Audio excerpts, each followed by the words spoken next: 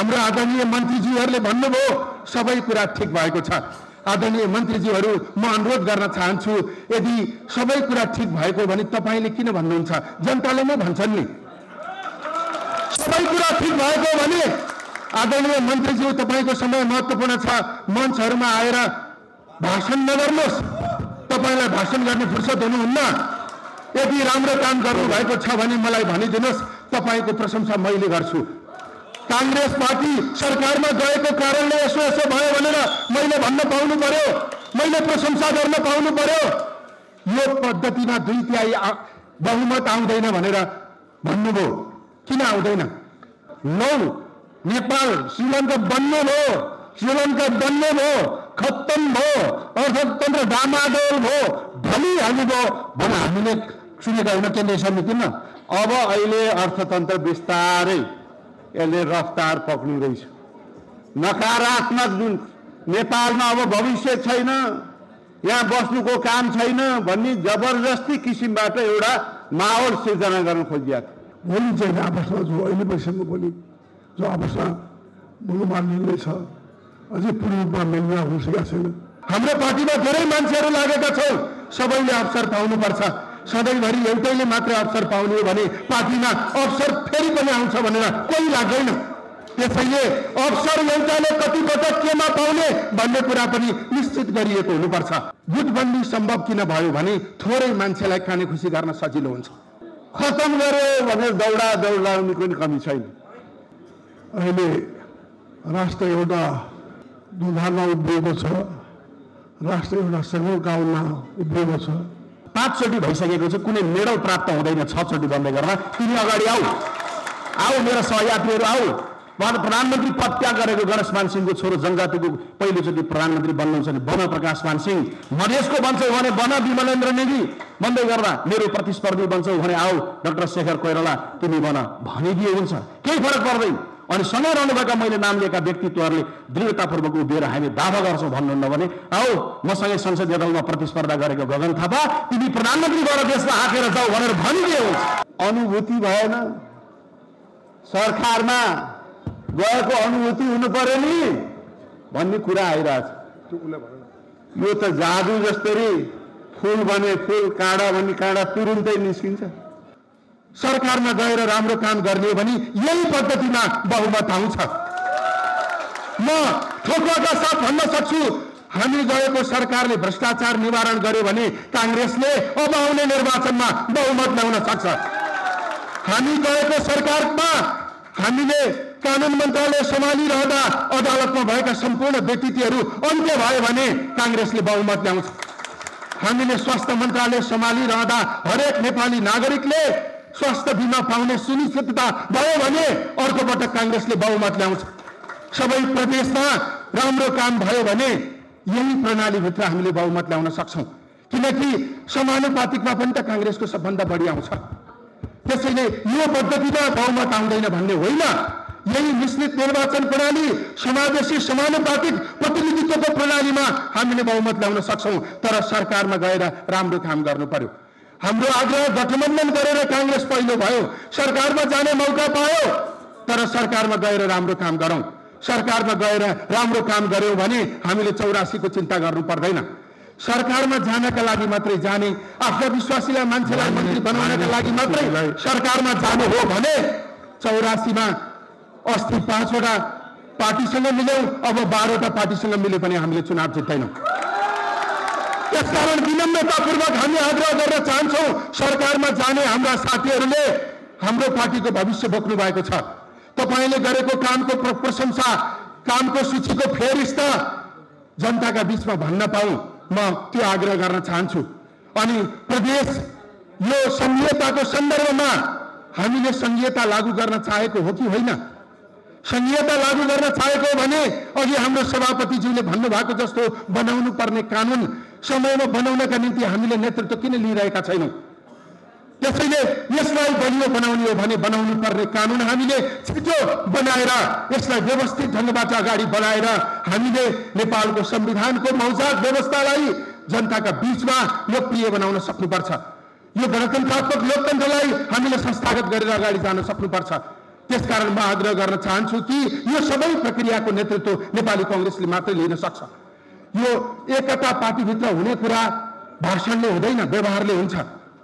हामी शासक बन्ने सेवक बन्न नसक्ने अनि पार्टीमा एकता खोजेर प्राप्त हुन सक्दैन। त्यसैले बिपी कोइरालाको समयमा दुई हजार पन्ध्र सालमा काङ्ग्रेसले चौहत्तर सिट ल्याउँदा कम्युनिस्टहरूले जम्मा चार सिट ल्याएका थिए। किनकि त्यो बेलामा बिपी कोइरालाले यो समाजका सबै मुद्दाहरूलाई काङ्ग्रेसको एजेन्डा बनाउनु भएको थियो। काङ्ग्रेससँग जस्तो प्रोग्रेसिभ मुद्दा कम्युनिस्टहरूसँग थिएन। आजको दिनमा तिनै एजेन्डा बोकेर हामीले प्रोग्रेसिभ एजेन्डाको नेतृत्व गरेको ठहरिँदैन। आज समय फेरिएको छ परिस्थिति फेरिएको छ मान्छेको चाहना फेरिएको छ। बिपीकै इच्छा बमोजिम बिपीकै शैलीमा हामीले नयाँ विषयलाई नेपाली समाजका विषयहरूलाई एजेन्डा बनाएर अगाडि बढ- बढाउन सक्नुपर्छ। भ्रष्टाचार विरुद्ध अरू लड्नुभन्दा पहिले हामी लड्न सक्नुपर्छ। म हाम्रा नेताहरूलाई अनुरोध गर्न चाहन्छु अडचालिस सालपछि पदमा जानुभएका सबैले घोषणा गर्नुहोस् मेरो सम्पत्ति यति हो। कसैले छानबिन गर्न चाहन्छ भने कसैले छानबिन गर्न चाहन्छ भने म सहयोग गर्छु भनेर सबैले भन्नुहोस्। मसम्म पनि म तयार छु। त्यसैले हामीले नै भ्रष्टाचार विरुद्ध जिहाद छोडेनौँ भने हामीले नै सुशासनको नेतृत्व गर्न तयार भएनौँ भने हामीले नै तमाम आर्थिक सङ्कट समस्या समाधान गर्नका निम्ति नयाँ विषयहरू ल्याउन सकेनौँ भने हामीले नै यो देशका तमाम सङ्कटहरू पहिचान गरेर त्यसको समाधान गर्न सकेनौँ भने हामीले गर्ने बाहेक अरू कसैले सक्दैन। रियाक्सनको राजनीति अगाडि बढ्ला तर जिम्मेवारीको राजनीति काङ्ग्रेस कमजोर भयो भने बढ्न सक्दैन। कसैले सीमित समय नेतृत्वमा जाला तर त्यसले केही गर्नेवाला छैन। आज पनि नेपाली जनताको विश्वास काङ्ग्रेसमाथि नै छ। तर काङ्ग्रेसलाई उसले भनेको छ सत्य प्रष्ट भएर आऊ। लोभ नगर स्वार्थहरूमा नडुब। हामीले यी कुराहरू सच्याउन सक्ने भने फेरि पनि काङ्ग्रेसको भविष्य सुनिश्चित छ कि पुरानो भावनाको काङ्ग्रेस नयाँ विश्वासको काङ्ग्रेस। त्यो भनेको के हो भन्दा मैले अस्ति कार्यक्रममा गण्डकीमा बोल्दाखेरि पनि अलिकति भनेको थिएँ अब काङ्ग्रेस बदल्ने नवीन दृष्टिकोण चाहियो। बिपी कोइरालाले आफू जीवित छँदै सक्रिय छँदै मञ्चबाट आफूले बोल्ने बेलामा मैले धेरै बोल्नु छैन। तपाईँहरूको भावी प्रधानमन्त्रीले बोलिसक्नुभयो भनेर परशुनारायण चौधरीतिर देखाउनु भएको थियो। गणेशमान सिंहले साठी वर्ष लामो राजनीति गर्नुभयो। आयो प्रधानमन्त्रीको पद। खान्न भनेर विनम्रतापूर्वक भनिदिनु र आफ्नो मित्रतिर देखाउनु भयो र गिर्जा बाबुले संसदीय दलको नेता सर्वसम्मत रूपमा यिनै युवाले गर्न सक्छन् भनेर कुनै बेला शेरबार देवाको नाम पनि प्रस्तावित गर्नुभयो। गिरिजा प्रसाद कोइरालाले चुनावमा जाँदै गर्दा कुनै बेला कृष्णप्रसाद भट्टराईको नाम घोषणा गरेर पनि जानुभयो। आज नेपाली काङ्ग्रेस पार्टीको रूपान्तरणको निमित्त तल जराबाट त अलिअलि गर्नुपर्ने छँदैछ तर जरा मात्र होइन शिरबाट काङ्ग्रेसको चाहिँ शुद्ध जल बगिराखेर काङ्ग्रेसको रूपान्तरणको कुरो शिरबाट सुरु गर्न जरुरी छ। यसको लागि मैले भनिआएको छु। महासमितिको बैठकमा जरुरी छ पास गर्नुपर्छ भने तपाईँहरूले भन्नु होला आउँछ हाम्रा डकुमेन्टहरूमा। वान टू थ्री फोर भनेर वान भनेको कोही पनि राष्ट्रपति नेपाल देशमा शपथ ग्रहण हुन्छ भने शीतल निवासमा केवल एक पटक हुन्छ दोहोऱ्याएर हुँदैन। रामवरण यादवले दुई पटक राष्ट्रपतिको शपथ लिनुभयो। विद्या भण्डारीले दुई पटक शपथ लिनुभयो। यदि एक पटक मात्रै राष्ट्रपति बन्न पाउने कसैको विधि विधि बनाएको थियौँ भने आज नेपाल देशले रामचन्द्र पौडेललाई राष्ट्रपति पाउँदै गर्दा पाँचौँ राष्ट्रपति पाएको हुन्थ्यो। त्यसैले वान टू थ्री फोर भन्दै गर्दा वान एक पटक भन्दा कोही राष्ट्रपति बन्नुहुन्न। टू भन्दा दुई पटक भन्दा कोही प्रधानमन्त्री बन्नुहुन्न थ्री भन्दै गर्दा तिन पटक भन्दा कोही मन्त्री बन्नुहुन्न फोर भन्दै गर्दा चार पटक भन्दा कोही सांसद बन्नुहुन्न। फाइभ भन्दै गर्दा जतिसुकै लोकप्रिय होस् उसलाई पाँचौँचोटि भन्दा नागेर टिकट दिनुहुन्न। यसो गर्दै गर्दाखेरि मैले सम्माननीय हाम्रो पार्टी सभापतिले भन्दै गर्दा एक दिन भन्नुभयो भाइले भनेको यो थ्योरीलाई कार्यान्वयन गरेको भए त मेरो त दुईचोटि प्रधानमन्त्री भएर म त उहिले बिदा हुने रहेछु भनेर भन्नुभयो। आदरणीय सभापतिले भन्नुभयो गुनासो पनि राखेर भन्नुभयो होला। मेरो अभिव्यक्तिको अन्तिम प्याराग्राफ तपाईँहरूलाई भन्दै गर्दा म यहाँ आज सभापतिकै सामान्य गण्डकीमा भने थिएँ यहाँ पनि भन्न मन थियो। त्यो बनाएको विधि वान टू थ्री फोर भनेको दोहोऱ्याएर तेह्रयाएर प्रधानमन्त्री कोही बन्न नपाउने विधि हाम्रो पुस्ताले विश्वप्रकाश शर्माहरूले गगन थापाहरूको पुस्ताले हाम्रो लागि पनि बनाउने हो। तर त्यो पालना गर्नलाई अहिलेका हाम्रा आदरणीय सभापतिज्यूलाई मैले यति राम्रो विधिलाई पालना गर्न पाइनँ भन्ने हो भने भनिदिनु भए हुन्छ। पाँचचोटि भइसकेको छ कुनै मेडल प्राप्त हुँदैन छचोटि बन्दै गर्न तिमी अगाडि आऊ। आऊ मेरा सहयात्रीहरू आऊ। उहाँ प्रधानमन्त्री पद त्याग गरेको गणेश मान सिंहको छोरो जनजातिको पहिलोचोटि प्रधानमन्त्री बन्नुहुन्छ भने बन प्रकाश मान सिंह। मधेसको बन्छौ भने बन विमलेन्द्र नेगी। बन्दै गर्दा मेरो प्रतिस्पर्धी बन्छौ भने आऊ डाक्टर शेखर कोइराला तिमी बन। भनिदिए हुन्छ। केही फरक पर्दैन। अनि सँगै रहनुभएका मैले नाम लिएका व्यक्तित्वहरूले दृढतापूर्वक उभिएर हामी दावा गर्छौँ भन्नुहुन्न भने आऊ मसँगै संसदीय दलमा प्रतिस्पर्धा गरेको गगन थापा तिमी प्रधानमन्त्री गएर देशलाई हाँकेर जाऊ भनेर भनिदिए त्यसैले त्यो खालको विधिमा काङ्ग्रेस पार्टीभित्र हामी यसरी छलफलमा हार्दिकतामा पनि छौँ। यसरी नै खोलेर पनि छलफल गर्छौँ। तपाईँ ढुक्क हुनु होला राजनीतिमा रूपान्तरण भन्दै गर्दा काङ्ग्रेसभित्रको संस्कृति अरूले पनि अनुकरण गर्ने संस्कृति छ। शेरबार देउवा र शेखर कोइरालाको बिचमा चुनाव प्रकाश मान्छेको र विमलेन्द्र निधि पनि सभापतिको उम्मेद्वार हुनुहुन्थ्यो। तर जब सांसदको टिकट बाँड्न हामी राति बसेका थियौँ नि सही ढङ्गले बाँड्यौँ होला गल्ती भयो होला कमजोरी भयो होला। तर शेखर कोइराला र शेरबार देउवा एउटै दुनाबाट फुरन दाना यसरी झिकेर खाँदै टिकट वितरणको छलफल गरिरहनु भएको थियो। यो दृश्य काङ्ग्रेसमा मात्रै देखिन्छ। त्यही दृश्य नेकपा एमालेमा भीम रावल पनि प्रतिस्पर्धा गर्नुभएको थियो केपी ओलीसँग। तर भीम रावलले कहीँ बसेर टेलिफोन गर्दै हुनुहुन्थ्यो कमरेड मेरो टिकट अछामबाट हुन्छ कि हुँदैन? भरे रेडियो नेपाल सुन्नु अहिले हामी टिकट बाँड्ने छलफलमा छौँ। भरे सुन्दै गर्नु एकातिर भन्दै गर्दाखेरि शेखर कोइरालाहरू सँगसँगै बाँडिरहनु भएको थियो। शेरबार देउवा र गगन थापा सँगसँगै मुस्कुराउँदै गएर संसदीय दलमा प्रतिस्पर्धा गरिरहनु भएको थियो। त्यो प्रतिस्पर्धा भनिदिनुहोस् बितेको निर्वाचन पछाडि काङ्ग्रेसमा भन्दा बाहेक अन्त कहाँ भयो? त्यसैले कङ्ग्रेससँग त्यो संस्कृति छ त्यही हो पुरानो भावना भनेको। त्यसलाई अझै जागृत गरौँ। त्यो पुरानो भावनाको जगमा नयाँ विश्वासको काङ्ग्रेस बनाऊ। पार्टीमा एकता कायम गर्ने त्यो ठिक कुरा हो तर मन परी हुने मन परी भयो भनेर भन्दा एकता टुट्यो एकता टुट्छ भनेर कसैले भन्यो भने डराउन सकिँदैन। अब साथीहरूले कतिपय अवस्थामा भन्नुहुन्छ अनुभूति भएन। सरकारमा गएको अनुभूति हुनु पर्यो नि भन्ने कुरा आइरहेछ। यो त जादु जस्तरी फुल भने फुल काँडा भने काँडा तुरुन्तै निस्किन्छ। यो सरकार देश चलाउने भने पनि परिवार चलाउने जस्तै हो नि हरेक। तपाईँ हामीले परिवार चलाउँछ। त्यो परिवारको आवश्यकता पूर्ति गर्न कति समय लाग्छ? कति मेहनत पर्छ? यहाँ त समस्याको पहाड। पहाडलाई म एक मुक्का दिएर चाहिँ हटाउँछु भने आफ्नै टाउको आफ्नो मुक्का र ताम्ने हुन्। त्यसलाई बिस्तारै बिस्तारै पन्छाउँदै पन्छाउँदै गरिरहेछ। त्यो गर्दाखेरि कतिपय स्वार्थ समूहहरू जसले सहज किसिमबाट फाइदा उठाइरहेछ मेरो विरुद्ध खन्या पनि छ। जहाँ पनि पुग्ने सहजै छ यहाँ अचेल। खतम गर्यो भनेर दौडा दौडाउने कुनै कमी छैन। किनकि त्यो स्वार्थ समूहको लागि म काम गर्दैन। जनता र देशको लागि काम गर्छु। मेरो दाई रामशरण महतबाट त्यो कुरो मैले सिकेको छु। उहाँले पनि अर्थतन्त्र निर्माणमा ठुलो भूमिका खेले हो त्यस कारण मैले यो प्रवृत्तिका खिलाफमा जनता र देशलाई केन्द्रबिन्दुमा राखेर र पार्टीको गाइडेन्स बोर्ड जुन चाहिँ नीतिगत गाइडेन्स छ निर्देशन छ त्यसलाई मध्यनजर गरेर काम गरिरहेको छौँ हामी सबै नेपाली काङ्ग्रेसका मन्त्रीहरू सबैले मेरो मूल्याङ्कनमा मेरो बुझाइमा सबैले त्यहाँको सीमा अप्ठ्यारा कानुन नियम सबैलाई पालन गरेर काम गर्नु पऱ्यो त्यो भित्र रहेर इमान्दारिताका साथ काम गरिराखेका छन्। यो कुरा म सबैको तर्फबाट पनि विश्वास दिलाउन चाहन्छु साथीहरू। अब मेरो अन्त्य हुनलाई अब अहिले अर्थतन्त्र बिस्तारै यसले रफ्तार पक्रिँदैछ नकारात्मक जुन नेपालमा अब भविष्य छैन यहाँ बस्नुको काम छैन भन्ने जबरजस्ती किसिमबाट एउटा माहौल सिर्जना गर्न खोजिएको र छयालिस साल अगाडि चाहिँ यहाँ सुनौला युग थियो गोल्डेन एज थियो भन्ने जस्तो पनि प्रचार गरिएको हामीलाई थाहा छैन यहाँ बुढापाका अलि उमेर पचास सबलाई थाहा छ आधा जनसङ्ख्या खाली खुट्टाले हुन्थ्यो त्यो बेला। यस्तो विपरीत परिस्थितिका बावजुद। द्वन्द्व अस्थिरता उथल पुथलका बावजुद यहाँ हामी पुगेका छौँ त्यसको जड नेपाली काङ्ग्रेस राख्या नत्र कुन हालतमा हामी त्यसमा अहिले एउटा सकारात्मक संवादको आवश्यकता छ। अहिले हामीले साढे आठ प्रतिशतभन्दा ज्यादा मूल्य वृद्धि थियो। अहिले साढे पाँचमा गइसक्यो हामीले बजेटमा साढे छ प्रतिशतसम्म झार्ने लक्ष्य ल्याएको थियो त्योभन्दा तल आएको। विदेशबाट रेमिटेन्स तिस प्रतिशत अहिलेसम्म सबभन्दा ज्यादा आएको। यही इकोनोमीमा आएको छ नि। अहिले निरन्तरको हाम्रो प्रयासपछि राष्ट्र ब्याङ्कको बोर्डलाई नै मैले चाहिँ मन्त्रालयमा बोलाएँ यो यो कारण तपाईँ यो गर्न जरुरी छ। भनेपछि बोर्डले निर्णय गरेपछि अहिले ब्याज दर राष्ट्र ब्याङ्कले घटाएको छ। अरू सीमाहरूलाई पनि सहज बनाएको छ। अब ब्याङ्क ब्याज दरहरू चाहिँ घट्दैछु। समय सीमा अब जसले तिर्न गाह्रो भइरहेको छ।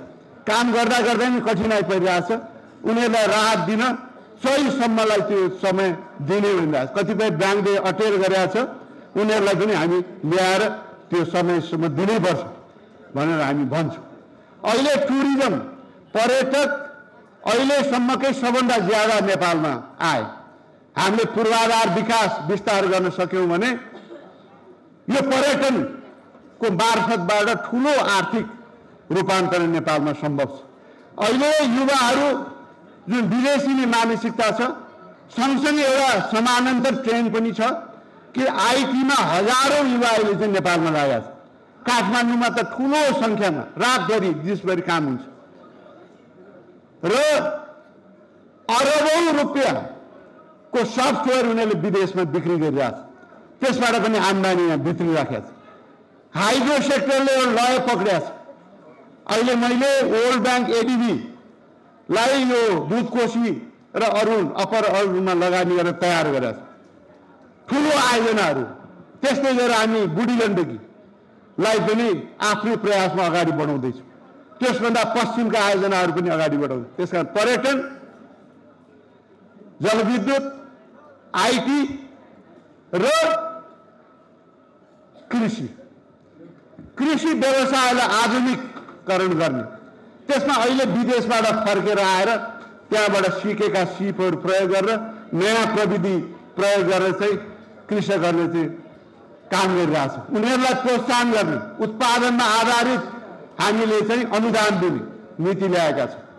देशकै उत्पादनलाई प्रमोट गर्न हामीले कस्टममा कृषिजन्य वस्तुमा ज्यादा कस्टम लगाएर संरक्षण गर्ने नीति पनि लिएको हुनाले अर्थतन्त्रले अब लय पक्रिन्छ निराश हुनुपर्ने काम छैन। उपभोग गर्नेहरूले पनि निर्धक्क उपभोग गरे हुन्छ लगानी गर्नेहरूले पनि निर्धक्क लगानी गरे हुन्छ। म अर्थ मन्त्रालयमा अर्थमन्त्रीको नाताले पार्टीको प्रतिनिधिको नाताले यो सरकारको जिम्मेदार सदस्यको नाताले र पार्टीको प्रवक्ता र पार्टीको जिम्मेदार सदस्यको नाताले। साथीहरूको चाहिँ सुझाव सल्लाह भावनालाई मध्यनजर राखेर देश र जनतालाई मध्यनजर राखेर काम गर्नेछु र तपाईँहरूको विश्वासलाई म विश्वासघात हुन दिने छैन नौ नेपाल श्रीलङ्का बन्ने भयो श्रीलङ्का बन्ने भयो खत्तम भयो अर्थतन्त्र डामाडोल भयो ढलिहाल्नु भने हामीले सुनेका होइन केन्द्रीय समितिमा। तर काङ्ग्रेस जब सरकारमा गयो सरकारमा गइसकेपछि अर्थ मन्त्रालय समेत नेपाली काङ्ग्रेसको जिम्मेवारीमा आइसकेपछि अहिले अर्थमन्त्रीजी यही हुनुहुन्छ। अहिले अर्थतन्त्र सुदृढीकरणको बाटोतर्फ गएको छ कि छैन? मैले धेरै भनिरहनु पर्दैन। हामीले विगतमा विगतमा के एयरपोर्टबाट त्रिभुवन विमानस्थलबाट सुनहरू आउँदैन थियो आउँथ्यो होला नि। तर किन समात्थेन अहिले चाहिँ नि दिनदिनै सुनाउँछ दिनदिनै समात्दाखेरि पनि विरोध भइरहेछ फेरि। यो पनि बुझिन सक्नु अवस्था छ। एनसेल काण्ड आउँछ एनसेल काण्डमा तुरन्तै सरकारले नेपाल सरकारले छानबिन समिति गठन गर्छ। फेरि भन्छ यो पनि भएन भनिदिन्छ। एउटा नजर छ। त्यस कारणले गर्दा विरोधका लागि विरोध गर्नेहरू त छँदै छन्। तर त्यसका लागि जवाब दिनका लागि हामीले गरेका कामहरूलाई पनि हामीले सुशासनतर्फ अगाडि बढेको कुरालाई पनि सुशासनतर्फ सुशासन मार्फत नेपाली जनतालाई डेली दिने कुरालाई पनि हामीले ध्यान दिनुपर्दछ। अहिले वास्तवमा अर्थमन्त्रीजीले अहिले बोल्नु होला। अहिले कसौरीमा भएमा नै मजाले भात पस्केर दिन सकिन्छ। कसौरी खाली छ भने पनिया घुसाउँदाखेरि ट्याङ ट्याङ टुङटुङ मात्रै आवाज आउँछ। भात पनियामा आउँदैन कुरा बुझ्न आवश्यक छ। कम्ती पनि हामीले खाली कसौरीलाई बिस्तारै बिस्तारै भएनपट्टि लागिरहेका छौँ नि त। यो कुरालाई हामीले मनन गर्ने किन गर्ने? त्यसो भएको कारणले गर्दाखेरि निरन्तर चाहन्छु केही पनि भएन खत्तम भयो भने मानसिकता पालेर होइन गर्छौँ हामी। हाम्रो नेतृत्वमा अगाडि बढ्छौँ र सरकारले सुशासन दिएर अगाडि बढ्छ डेलीभरि पनि दिएर अगाडि बढ्छ भन्ने कुरामा हामीले विशेष ढङ्गबाट मतान्तर होइन कि? एकमत भएर हामीले अघि बढ्नु पर् पर्दछ। तब मात्रै पार्टी सुदृढीकरणको बाटोमा लाग्दछ। होइन भने? आफूभित्रै आफूभित्रै किसिमजीले एकपल्ट भन्नुभएको थियो हामी सबै यहाँ पिएचडी गरेका छौँ बाबु भन्नुभयो। के भन्नुभयो? किसिमजी भने हामीले प्रश्न गर्दै गर्दा उहाँले भन्नुभएको थियो। पिएचडी भनेको बाबु पुल हिम डाउन भन्नुभएको थियो। हामी सबै पुल हिम डाउनतिर लागेपछि काङ्ग्रेस बन्छ। काङ्ग्रेस बलियो बन्छ। त्यस कारणले गर्दाखेरि हामीले पुल हिम डाउनतिर होइन। हामीले प्रतिस्पर्धाबाट मात्रै हामीले अगाडि बढ्न नेतृत्वमा जान सकिन्छ भन्ने कुरा पनि हामी प्रजातन्त्रको सुन्दर पक्ष र प्रजातन्त्रवादी भएका कारणले गर्दाखेरि पनि लोकतन्त्रवादी भएका कारणले गर्दाखेरि पनि त्यसतर्फ पनि ध्यान दिएर अगाडि बढ्यो भने मात्रै काङ्ग्रेस सुदृढ भएर अगाडि बढ्न सक्छ। अब रह्यो यहाँ हाम्रो सभ्य प्रदेश सभा सभापतिज्यूले आफ्नो वेलकम स्पिचमा एउटा कुरा भन्नुभएको छ। प्रदेशहरूले झन्डा त पायो दण्ड पाएन भन्ने कुरा आयो निश्चित रूपमा झन्डा त पायो प्रदेशमा तर दण्ड नपाउने परिस्थितिलाई हामी अन्त गर्दैछौँ छिट्टै अन्त गर्दैछौँ र हामीले वास्तवमा महत्त्वपूर्ण ऐनहरू महत्त्वपूर्ण कानुनहरू शिक्षा विधेयक जसले जसले संहिताको कानुनमा एउटा पाटो हो शिक्षा विधेयक त्यो अहिले संसदको मिनी संसदमा विचाराधीन छ। त्यस्तै गरेर कर्मचारी सङ्घीय कर्मचारी ऐन अर्को पाटो भने त्यस्तै गरेर सङ्घीय यो चाहिँ प्रहरी ऐन पनि अर्को पाटो त्यस कारणले गर्दाखेरि म निवेदन गर्न चाहन्छु हामी छिटोभन्दा छिटो सक्यो छिटै संसद बस्नुभयो भने त्यो संसदबाटै यी विधेयकहरू पनि पारित गरेर ल्याउँला र कार्यान्वयन गराउँला। तर यदि संसद अलि ढिलो हुने भयो पन्ध्र बिस दिन अलि ढिलो हुने भयो भने अर्को बाटो पनि हामीले अवलम्बन गर्न सक्छौँ। कानुन लिएर हामीले अर्को बाटो पनि हामी का बाटो पनि जान सक्छौँ। त्यस कारणले गर्दाखेरि जसले पनि महत्त्वपूर्ण ऐनहरू लिएर आउने हो कार्यान्वयन गर्ने हो र हाम्रो सभ्य सभापतिले भने भन्नुभएको जस्तै गरेर अहिलेसम्म झन्डा मात्रै बोकेर हिँडेको प्रदेशहरूलाई दण्ड पनि दिइहाल्ने हो त्यसरी चाहिँ नि कार्यान्वयनको रूपमा हामी अगाडि बढाउन चाहन्छौँ। यति कुरा भनिसकेपछि अब धेरै लामो कुरा नगरिकन तपाईँहरूलाई अन्तमा मैले आफ्नो मन्तव्यलाई टुङ्गाउनै गर्दाखेरि अन्त गर्दै गर्दाखेरि निवेदन गर्न चाहन्छु कि हामी सबै काङ्ग्रेसको चाहिने आनी बानी व्यवहारमा पनि सुदृढ गर्न आवश्यक छ। हामीले आफूलाई सदाचारको बाटोमा हिँड्न आवश्यक छ। बिपी कोइराला जुन बाटोमा हिँड्नु भएको थियो त्यो बाटोमा हाम्रा पदचारहरू परेका छ कि छैनन् एकपल्ट स्मरण गर्नुपर्दछ।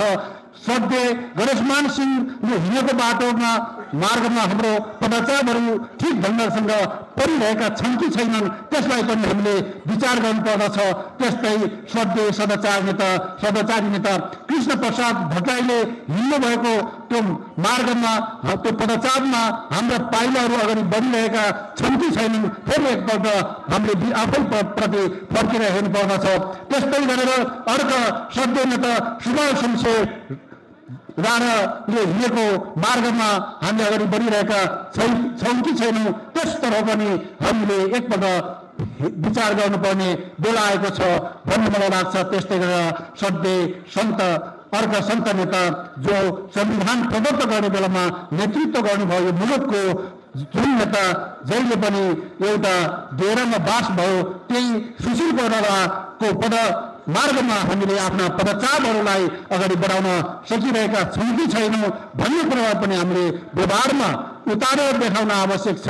त्यसो भएको कारणले गर्दाखेरि कि हामीले आफ्नो व्यवहारलाई नबदल्ने तर व्यवहार बदल्नुहोस् भनेर अरूलाई भन्नुभन्दा पहिले हामी आफै बदलिएर अघि बढ्न पनि मेरो अनुरोध विनम्रता साथ अनुरोध गर्दै यो सम्मेलनको सम्पूर्ण रूपमा सफलताको कामना गर्दै दिन चाहन्छु। धन्यवाद। सबै नेपालीको जय होस्। जय नेपाल। गुटबन्दी सम्भव किन भयो भने थोरै मान्छेलाई खाने खुसी गर्न सजिलो हुन्छ। थोरै मान्छेलाई तैँले गएर जिल्लामा आफू जित्नु आफ्नालाई जिताउनु जे जे चाहिन्छ मलाई माग्नु तेरो राजनीतिक भविष्य म सुरक्षित गर्छु। तर मलाई भोट बढाउनु भनेर यहाँ सभापति र महामन्त्री लड्ने मान्छेले तल भन्ने गर्नुहुन्छ। अनि आफ्ना गुटका मान्छे निर्वाचित गरेर उहाँहरू कुर्सीमा जानुहुन्छ। हामीहरू भनौँ न। अनि आफूलाई सहयोग गरेकोलाई सहयोग नगरी सुखै हुँदैन। यो थोरै मान्छेका बिचमा हुस्पेरिङ गर्न सजिलो भयो। आठ लाख छेसठी हजारले मतदान गरेर सभापति निर्वाचित गर्ने व्यवस्था भयो भने कसले कसलाई हिस्टोरिङ गर्ने? कसले कसलाई कहिले खुसी गर्ने? त्यति बेला ग्रुपिजम अन्त्य हुन्छ भन्ने मलाई लाग्छ। संसारमा मासपेस पार्टीको सदस्यता दुई प्रकारको हुँदैन। संसारमा मासपेस पार्टीमा आफूले दिन चाहेकोलाई मात्रै सदस्यता दिने लिन चाहेकोलाई नदिने व्यवस्था हुँदैन। जसले लिन चाहन्छ त्यो सबैलाई सदस्यता दिने व्यवस्था हामीले गर्नुपर्छ। त्यसैले आजको दिनमा हामीले बहस गर्ने विषय हाम्रो महामन्त्री विश्वप्रकाश शर्माले एक दुई तिन चार भन्नुभएको छ। हाम्रो पार्टीमा धेरै मान्छेहरू लागेका छौँ। सबैले अवसर पाउनुपर्छ। सधैँभरि एउटैले मात्रै अवसर पाउने हो भने पार्टीमा अवसर फेरि पनि आउँछ भनेर कोही लाग्दैन।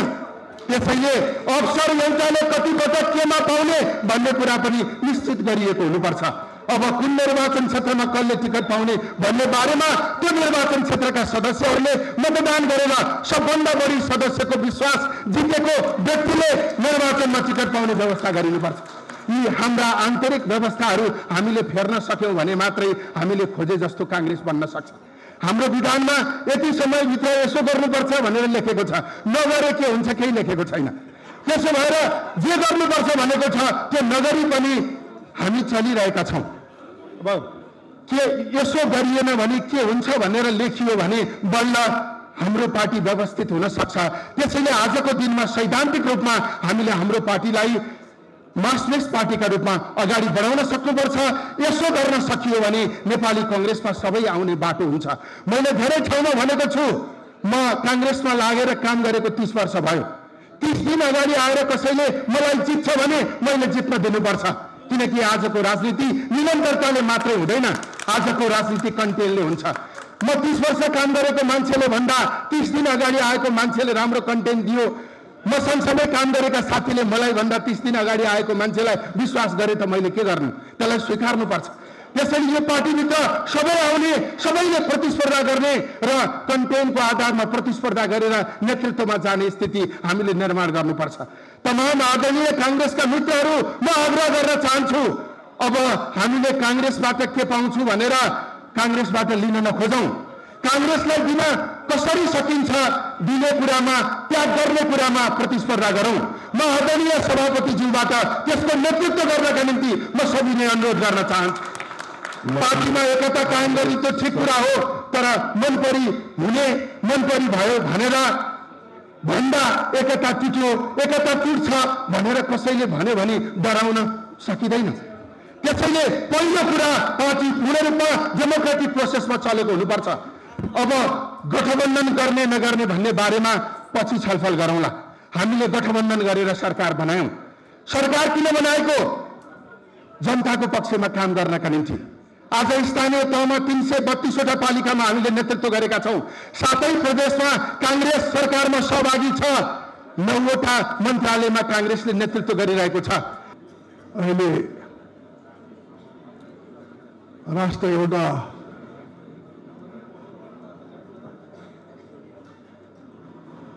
दुधारमा उभिएको छ राष्ट्र एउटा सगुण कालमा उभिएको छ। अहिलेको बेला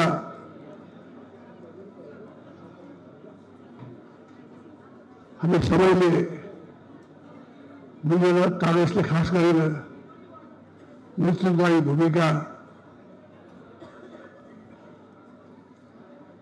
बसेर हामीले नेपाललाई जो अहिले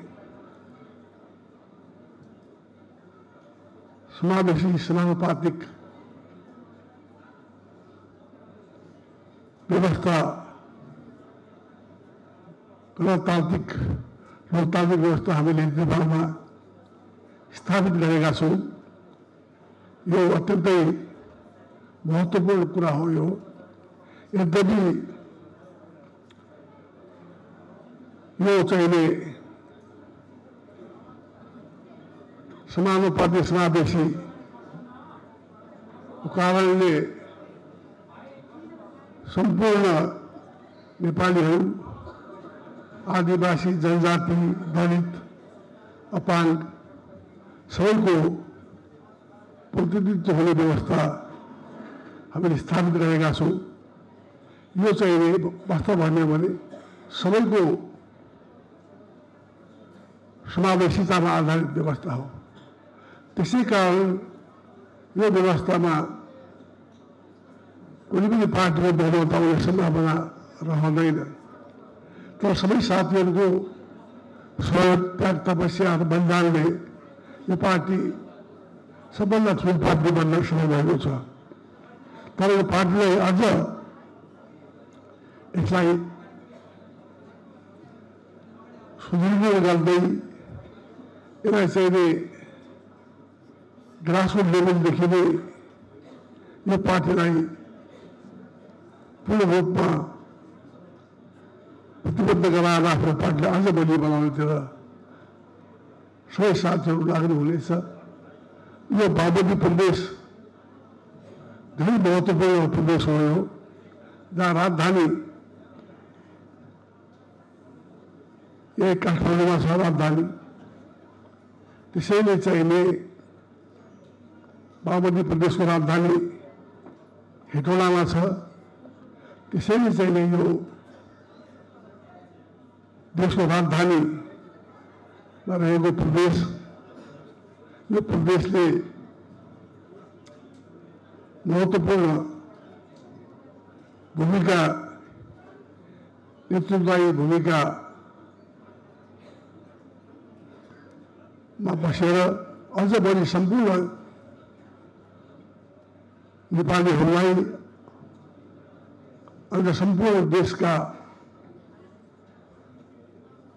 सबै प्रदेशका साथीहरूलाई बोलाएर जो तपाईँहरूले सबै साथीहरूको लाई आतिथ्य गर्नुभयो या सबैलाई मौका दिनुभएको छ लागि म तपाईँलाई धन्यवाद दिन चाहन्छु। यसले राष्ट्रिय एकतामा धेरै ठुलो मद्दत मिल्नेछ। राष्ट्रिय सुदृढीकरणमा